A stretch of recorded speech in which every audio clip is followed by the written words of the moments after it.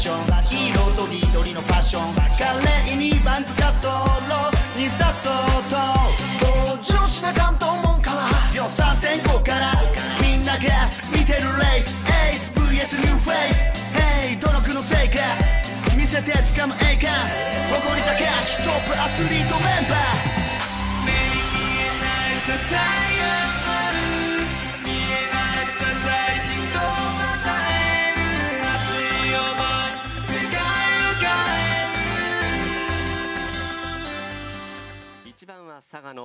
の田中瑠奈2番徳島岩原さやか。3番山口国村みるり。4番山口野崎奈美。5番三重の近澤涼香。6番神奈川中村美奈。そして7番埼玉青木美穂。以上7名の対戦です。午前中は激しく雨が降っていたんですが今の現在で広島競輪場雨はどうやら収まった模様です。そんな中行われますルーキーシリーズ。どうぞ皆様ご期待ください。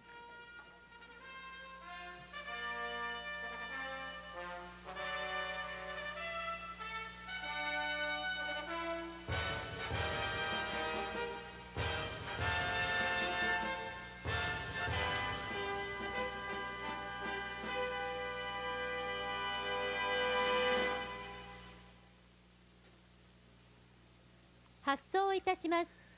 昨日がデビュー戦だった118回生。その中で一番早く白星を手にしたのは埼玉の青木でした。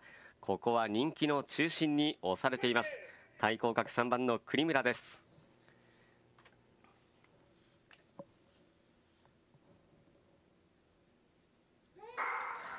5歩なって第6レースのスタート。さあまずはスタートですが5番の近澤そして7番の青木あたりが上がってまいりました。まずは真ん中のコース5番の近澤涼香がスタートを取りました。7番の青木美穂が2番手3番手が1番の田中瑠奈そして6番の中村美奈がいまして2番の岩原さやか3番の国村が現在は6番手最高峰が4番の野崎奈美です。先頭1周回目2センターから4コーナーに向かいます。まずスタートを取ったのが5番の近澤でした。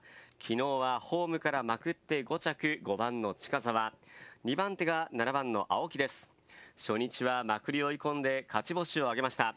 3番手が1番の田中です。前々自在の走りを見せることができるか。この後ろが6番の中村。初日レースを果敢に動かしていきました。そして2番の岩原です。徳島初のガールズレーサー。3番の国村は現在は6番手初日は長塚マーク2着に入っています。最高峰が4番の野崎。こちらは初日外伸びて3着に入りました。体型は縦一列。人気は7番の青木。そして3番の国村。分け合う形となりました。まず7番の青木は2番手からの組み立てそして3番の国村は6番手からの組み立て。その3番の国村が車を外に持ち出して上昇開始。ここに4番の野崎が続いていきます。さあ3番の国村が前へと攻め上がって3番手で止まりました。1番田中と並走。6番の中村は車を6番手まで車を下げています。そして最高峰2番の岩原が内ペースはこの辺り全く上がっていきませんが最高峰6番の中村中村が縦に踏んでいく。最終周回の1コーナーから2コーナー逃げていく。5番の近澤そしてその2番手から7番の青木青木美穂がここで縦に踏んでいく。この後ろが1番の田中外並走は3番の栗村さらには後ろ6番の中村が続いている前では踏ん張って5番の近澤で4コーナー回ってきた先頭5番の近澤後ろから7番の青木青木連勝ゴールです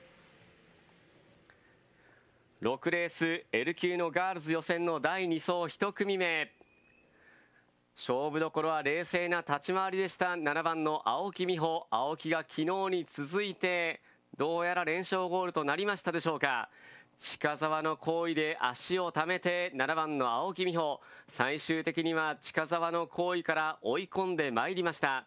7番の青木そして続いたのが1番の田中。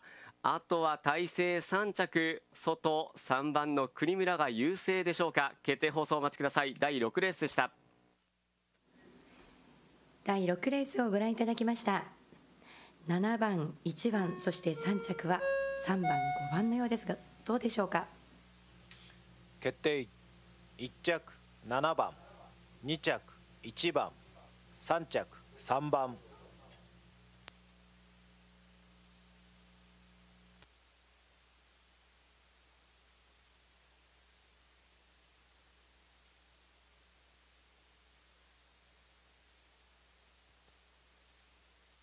広島競輪第6レースの払い戻し金額をお知らせいたします。